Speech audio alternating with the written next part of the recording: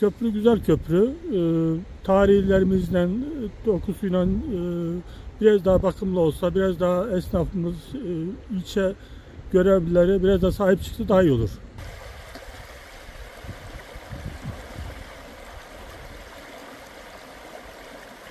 Tokat'ın Sulusaray ilçesinde Çekerek Irmağı üzerinde bulunan Roma dönemine ait olduğu düşünülen köprüye sprey boya ile yazı yazdılar.